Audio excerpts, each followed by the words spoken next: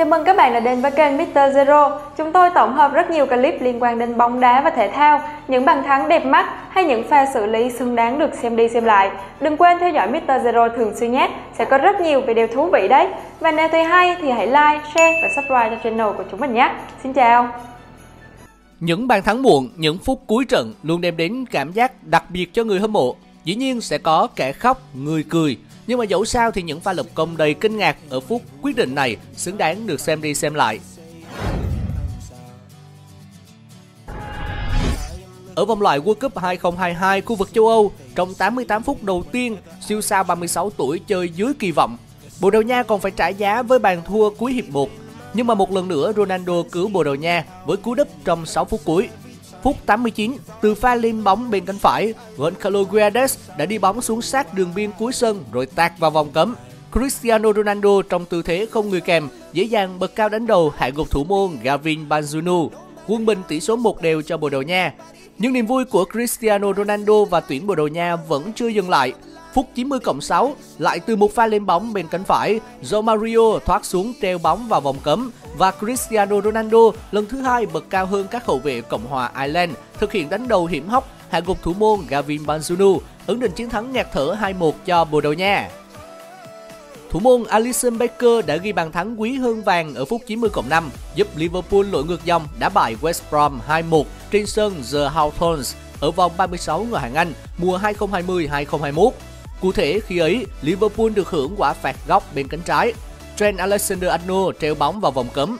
Thủ môn Alisson lên tham gia tấn công đã chọn điểm rơi chính xác, bật cao đánh đầu, đưa bóng về góc xa, làm bó tay thủ môn Sam Johnston. Barcelona đã làm nên điều không tưởng trong trận lượt về vòng 1/8 Champions League mùa 2016-2017 bằng cách ghi 6 bàn thắng để lội ngược dòng trước PSG Càng ngạc nhiên hơn khi ba bàn mang tính quyết định này xảy ra trong 7 phút cuối, bắt đầu từ phút 88 cho đến phút bù giờ thứ 5. Nima đã thực hiện pha đá phạt trực tiếp không thể ngăn cản ở phút 88 trước khi hoàn tất cú đúp với tình huống đá phạt 11m ở phút 90 cộng 1. Và người hùng Robertos đã khiến cho cả cầu trường sân Camp Nou nổ tung với pha thoát xuống lao người đệm bóng hạ gục thủ môn Trapp sau đường truyền của Nima, ấn định chiến thắng ngạt thở 6-1 cho Barcelona.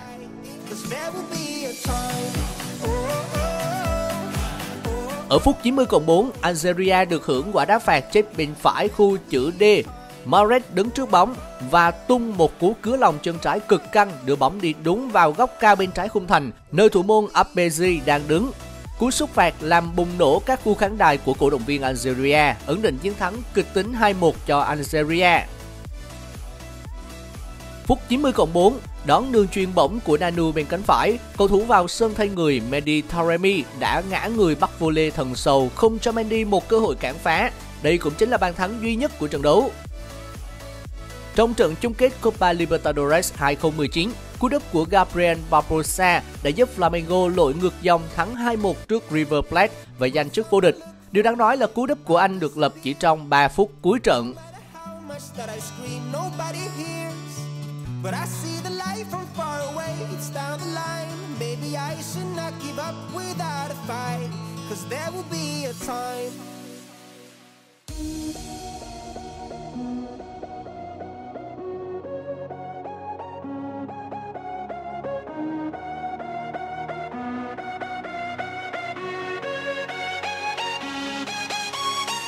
Phút 90 trận bán kết Nation League 2021, Theo Hernandez nhận bóng ngoài vòng cấm và tung cú đá chân trái rất căng, ấn định trận thắng 3-2 cho Pháp trước tuyển Mỹ.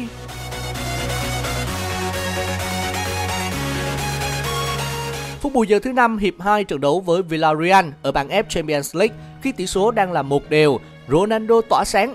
Từ quả tạt của Fred bên trái, CR7 đánh đầu truyền cho Jesse Lingard. Trong thế khó, Lingard nhả lại để Ronaldo lao vào suốt từ góc hẹp bóng trúng tay thủ môn Villarreal nhưng vẫn lăn vào lưới, đem về 3 điểm cho Man United. Lionel Messi là người đã ghi bàn ấn định tỷ số cho trận kinh điển, giúp Barcelona giành chiến thắng sát nút 3-2 trên sân Bernabeu hồi tháng 4 năm 2017. Bàn thắng được ghi ở phút 90 cộng 2. Sự phối hợp nhịp nhàng và ăn ý giữa Gomez và Jordi Alba đã tạo điều kiện để Messi tung cú sút xoáy cực mạnh, đưa bóng vượt qua tầm với của thủ thành Navas. Phút 90 cộng 6 trận đấu giữa Ajax và Tottenham, tiền đạo Lucas Moura ghi bàn thắng vô cùng quan trọng, ấn định thắng lợi cho Spurs. Kết quả này giúp Tottenham vượt qua Ajax để tiến vào chung kết Champions League với luật bàn thắng sân khách.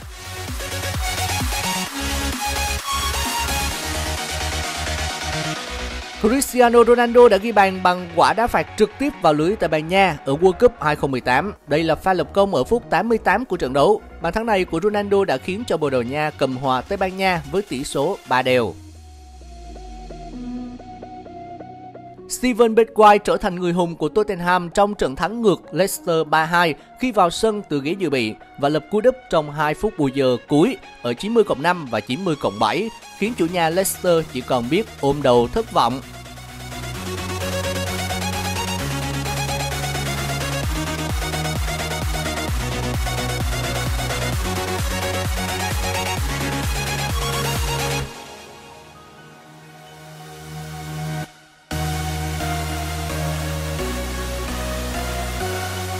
Sheriff Tiraspol gây bất ngờ lớn khi thắng 2-1 trước Real Madrid ngay tại Bernabeu và chính Sebastian Thiel đã ghi bàn thắng quyết định mang về 3 điểm cho đội bóng Moldova, đồng thời tạo nên cơn địa chấn ngay tại đất Tây Ban Nha ở phút 89 của trận đấu.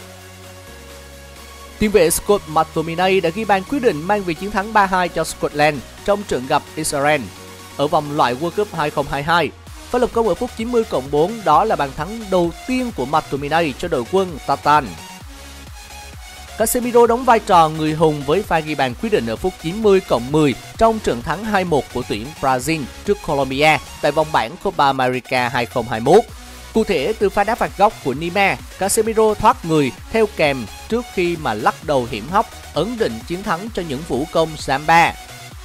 Phút bù giờ thứ hai, Alessandro Bastoni đánh đầu phá bóng đến vị trí của Alexander Trajkovski.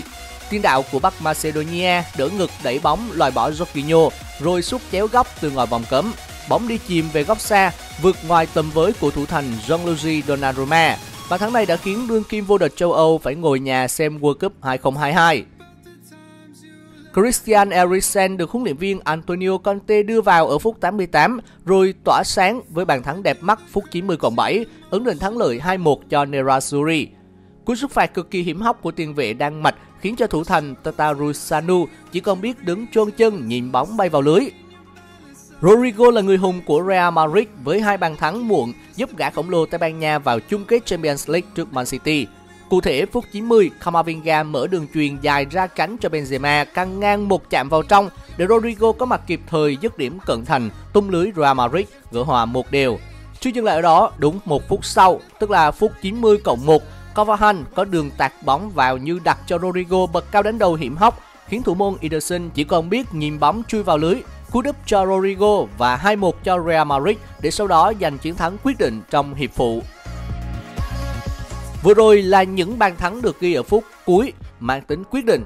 Cảm ơn các bạn đã quan tâm theo dõi. Hẹn gặp lại trong những video tiếp theo. Tiền thể thì có thể like và subscribe để ủng hộ cho kênh chúng mình nhé.